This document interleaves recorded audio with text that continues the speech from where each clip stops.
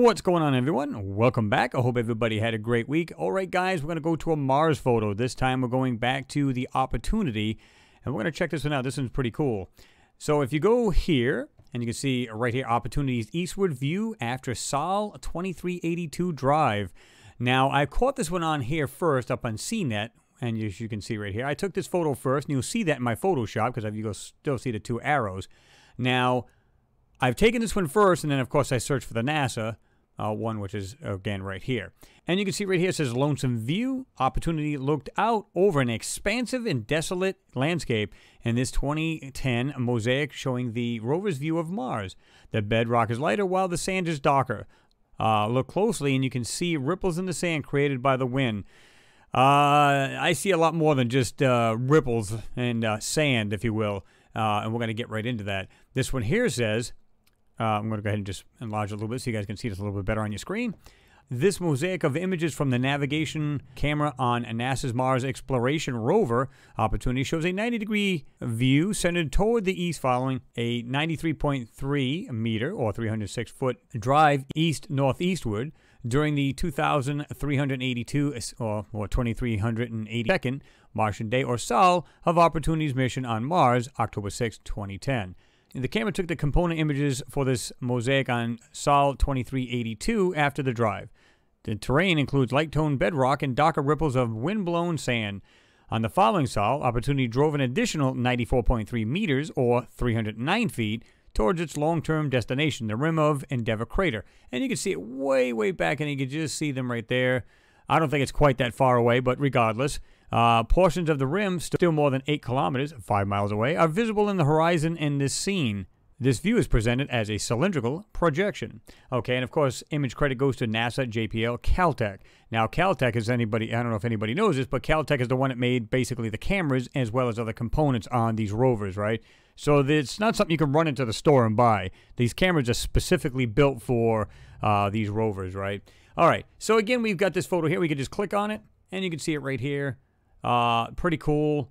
And you can see the both of the antennas. You got the both the uh, they call it the UVHF omnidirectional, and of course you've got the I believe this is the X band uh, highly directional, and it looks like a basically a plate. It's like you don't see it right now, but it's you're seeing this here. The front is right here. It looks like like a pan or pizza pan. It's just like a, a disc type thing, and they can po point in any direction to either point directly at Earth and send messages, or they use the uh, VHF antenna to uh, uplink to the actual orbiters, right? All right. We can zoom in. Now, funny enough, guys, we can zoom into this. I'm going to show you this right here. Now, I see shapes in here. Right off the bat, I can tell you that there is stuff standing up in this photo, and it is not a flat ground. And I'm going to show you this in both photos. Um, this one here just happens to be a little bit clearer, okay? Still the same photo. It doesn't matter. But let me go back down to 100%. And then I'm going to show you this one here. It is the same photo right here. So what I do is I actually just, you know, right-click that and snag the photo, right? Um, this one, if you look down at the antennas right here, you can see like these oval designs in the antenna. See it? And then, of course, you look at the NASA one. It's a little bit clearer. Of course, it is more zoomed in, right? Um, so I use both of them to try to drag out whatever's in the photo, right? Funny enough, what you're going to see is all of these so-called rocks, again, once you take out the shadows or the darkness of any part of a photo, you take out the depth. So once you add this back in, you start to see the depth, whether it's stuff that's like it looks like it's more farther away or stuff standing on the actual uh, uh, horizon or closer to you, the camera itself, whatever it may be. All right, so let's get into that. So this one here is from CNET, and you can see I got the two arrows here, which is just perfectly fine. Um, and again, I had to zoom this in because look at this. This is crazy. All right, this is at 100% uh, right here, which is fine. It looks okay, right? Until you start to zoom it in, because again, I'm going to show you that area where I showed you right here. Let me go back a little bit. Um, let's see should be right here. Right in the back here, there's actually parts there, okay? There's actually things sticking out in the background here, okay? All right. We're going to just back way out. And we're going to jump into this a lot bigger, and you can see this much better. Um, again, we got this weird looking area right here. And I already started to enhance it a little bit. Right here, you've got what looks like these weird objects sitting in an area right here. But you don't see it too much right now, but let me show you guys something that's pretty wild. When you look at the back of this photo, I don't know if you guys can see this. I'm going to zoom in just a hair bit. This, in other words, I want to show you this without doing any modifications to this photo. Uh, sometimes I get blamed for, oh, well, you added it, so therefore that's why it's there. No, no, no. If you look at this photo, you can see this piece is going like this, okay? But then it starts to go up like this and goes across, okay? And if you keep going with it, you can see this thing still continues on from this point. It keeps going across. It's not very straight, but that's okay. And you can see what looks like this white piece going down just a little bit and just a little bit. A lot of this is nothing but obfuscation, guys. But you can see it continues on pretty much across the screen. Now, I'm not going to make that very straight, but regardless, there it is, right? So I started to try to burn this to see what I can find. I found this other object, and I'm not sure what to make of this right there. I'm going to make this just a little thicker on the line here, and it may be a little too thick on the other photos, but that's okay. And you can see this right here. I found this right here.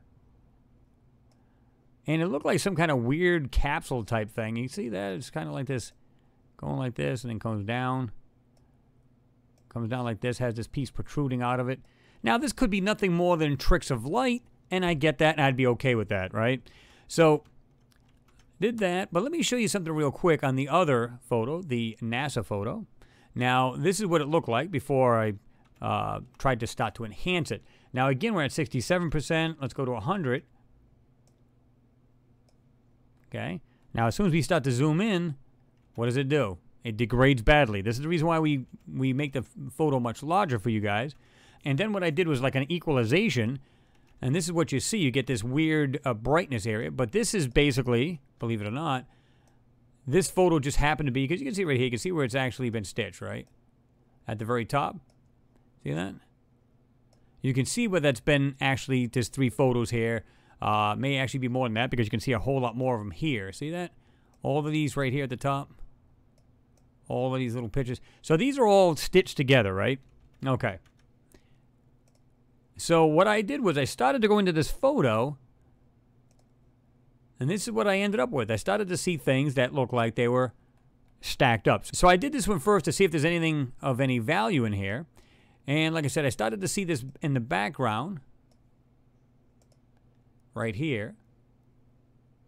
Okay. And I started to see that what looked like that wall feature, right? And you can see like these little areas here where it goes like this here. Okay. All right. So let's back out of that. And then let's go into here. Because what I want you guys to do is uh, take your magnifiers. I want you to look at these objects right here that look like flat rock, right? Um, look at it carefully with your magnifiers. I'm just going to back out just a little bit. Just look at them carefully.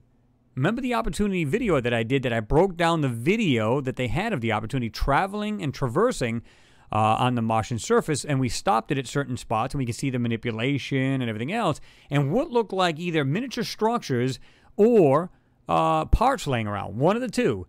And the same thing applies with this here. They're making it look like it's simple rocks, taking out all of the contrast, meaning the darker areas, to make them look like it's just flat, like a flat rock, right?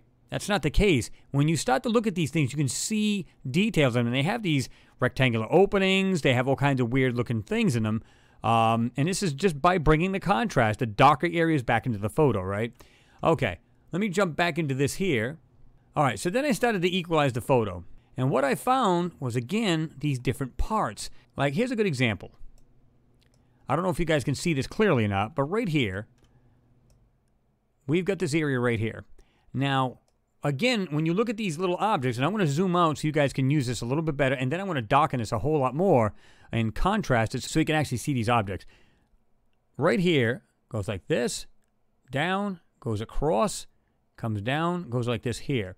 There's actually a split right here, and you can see what looks like these multi-layered little pieces. Now, just underneath it, look right here. Will look like little boxes, if you will, going like this, underneath this other piece. And it looks like it has this little black dot way in the back, and it kind of comes down like this here. There's another one here doing this here. And it looks like it goes off into the back underneath this other piece. Well, wait a minute. This is a flat shale, right? It's nothing more than flat rock. So why are we seeing stuff that looks like it's elevated? Now I'm going to back out a little bit. Okay, sharpened it up a hair bit. Now check, check this out with your magnifiers and have a look at that area I just showed you. It suddenly it suddenly looks like it has a different level to it altogether. There's objects in there. Now, don't get me wrong, you're going to have some compression marks in here. So, not everything is either a rock or some kind of other object, right? But if you look at this, especially the area I just showed you right in here, there's like multi-level things that are some of them are underneath other things. Now, and if it's rocks, well, wait a minute. Just a minute ago, everything looked flat and it didn't look like there's any layer of anything. So what gives, right? Okay. So let's let's jump out of this, back out of it, and guess what, guys? Check this out. In the background, you can see this object. It started off like this here, and I showed you guys that. But check this out. You got these objects coming down going across, it drops back down, and there you go. Looks pretty decent right there. And again, if we zoom in, uh, you're going to have a problem seeing this stuff. It's really going to break apart. Now, I can look at any part of these white things right here, and guess what? I can see what looks like sectioned off pieces. I can see what looks like objects. Whatever the hell these things are, especially back here. Guys. Now, look at these things right here on the left-hand side. I'm going to circle it in black here. Right there. Look at these objects where they clearly do not look like a flat rock. I can see these things and they're like boom right there in your face. Now, let me show you the completed version of this and I filter it and everything else and check that out. I'm to just zoom in just a little bit and you guys can pause this anywhere you like. Okay. Just have a look at these and, and the ground here, which, like I said, it gives you this illusion that is nothing more than just rock and flat rock. Well, again, we can see all of this manipulation in between this. You can see that. Look at it. And you can see this area right here. We can see it quite well where you've got this white piece sticking out. Well, it looks like a little dot right there. And then the rest of it is completely manipulated out. Okay? We can drop back to it and look at the manipulation right here, guys. Again, it's trying to give the illusion that this stuff is actually flat. There's nothing there. By taking out the contrast here. So in other words, let's say there's a raised rock. Let's call it a rock. I don't care. Call it a raised rock, and it's got like this, and you can see the siding of it. Well, you won't be able to see it sided because there's no shadow to it. So therefore, you don't see the face of the rock. So therefore, it looks flat. Nothing more than a shale, like a flat shale kind of rock, right? That's not true. There's so much more in this photo. You just have to bring it out. And what I'm going to do for you guys, I just opened up Mars Anomalies Flickr page. And what I'm going to do is I'm going to start dropping these in there for you guys so you guys can analyze this better. We used to have Google Plus, right? But then they did away with it. So we no longer can do that. And that's kind of sucks because we I had a bunch of photos up there. So what I'm going to do is I'm going to start dropping these up here so you guys can have a better look. So I've got the original one here, as you can see. And I'm going to drop the other one right next to it so you guys can do the comparison. Of course, you guys will know you get the link to the NASA link as well as any other link that I use. You know I always supply those anyway. So you can get this link. I'm going to drop the links to the photos anyway, or to the Flickr page. You can see it up here. Um, and you guys can have a look. So now what we'll do is I'm going to show you this one more time. And guys, like I said, this is not a simple flat area. It has objects sitting right in front of this rover. And I'm almost, oh man, I'm almost to the impression that there's actually either busted up pieces from, A, from a, a larger object, or these are actually small, tiny little you know, buildings, structures of some sort. And if you think about it, this rover is not that big at all. If you were standing here, and this is what's really puzzling, if you were standing here, you can see the mast right here. Let's go ahead and use the yellow one on this. You can see the mast area right here, and you can see I'm going to circle it right there. You can see the actual mast right here, as well as the camera head right here. And you would, if you were standing here, you'd be towering over this thing. You'd be like your waist would probably be right around, right where this antenna is.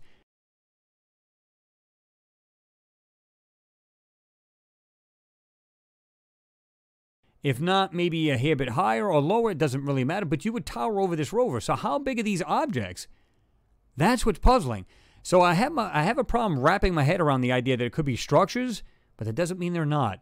Of course, you guys can give me your take on it because, like I said, when this video is done, I'm going to go ahead and upload this finished version of it, and I'll uh, maybe I'll break it down into sections. You guys can have a look, like a right and left section. Again, use your magnifiers and then tell me what you think. Anyway, guys, I'm going to let you guys go. Now, I got some more photos coming up. I got some uh, uh, moon photos that were submitted to me, uh, some that were enhanced, and then some that were not. Okay, and then people just ask me, hey, can you uh, enhance this a little further, or can you enhance this at all? And I also have a Mars Gigapan, which is also coming up real soon. In fact, yeah, within maybe a day or two tops. So um, maybe uh, just on Monday. So we're going to try to knock that out for you as well. Anyway, guys, comment down below. Let me know what you guys think. As always, like and share the video. As always, got to get these videos out so people can see this stuff. Anyway, guys, thanks for watching. Always appreciated and I'll see you on the flip side.